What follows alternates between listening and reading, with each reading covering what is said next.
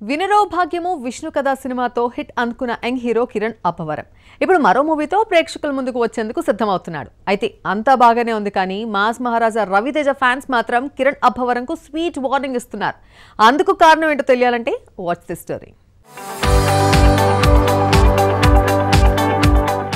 Young hero Kiran Abbavaram వరుస సినిమాలతో busy అవుతున్నాడు. అది కూడా టాలీవుడ్లో ప్రముఖ నిర్మాణ సంస్థల్లో సినిమాలు చేస్తున్నారు.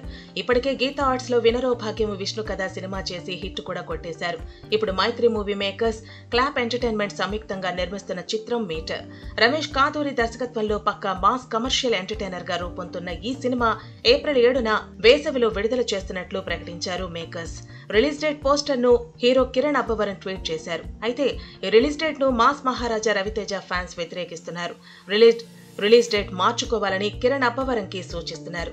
మాస్ మహారాజా ఫ్యాన్స్ కిరణ్ అబ్బవరంని మేటర్ మూవీ రిలీజ్ డేట్ మార్చుకో అని చెప్పడానికి కారణం రవితేజ నటిస్తున్న రావణాసుర సినిమా కూడా ఏప్రిల్ ఏడున గ్రాండ్గా రిలీజ్ కాబోతోంది. ఇప్పటికే రిలీజ్ అయిన గ్లిమ్స్కు ఆడియన్స్ నుండి మంచి రెస్పాన్స్ వచ్చింది. పైగా ధమాకా వాల్తేరు వేరియ వంటి హిట్స్తో రవితేజ మంచి జోరు మీదున్నారు.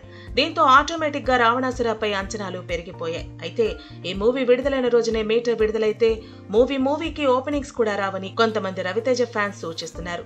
వద్దు బ్రో అన్న వస్తున్నాడు అంటూ కామెంట్లు పెడుతున్నారు. పక్క కమర్షియల్ మూవీగా తెరకెక్కుతున్న మీటర్ మూవీలో కిరణ్ పవర్ఫుల్ పోలీస్ ఆఫీసర్గా కనిపించబోతున్నారట. ఇక కిరణ్ కెరీర్లోని అత్యధిక బడ్జెట్తో నిర్మించిన చిత్రం ఇది. మరి అలాంటప్పుడు పోటీ ఎందుకని ఈ యంగ్ హీరో వెనక్కి తగ్గుతాడా? లేక అదే డేట్కు వచ్చిన మాస్ మహారాజాతో పోటీ పడతాడా అనేది చూడాలి.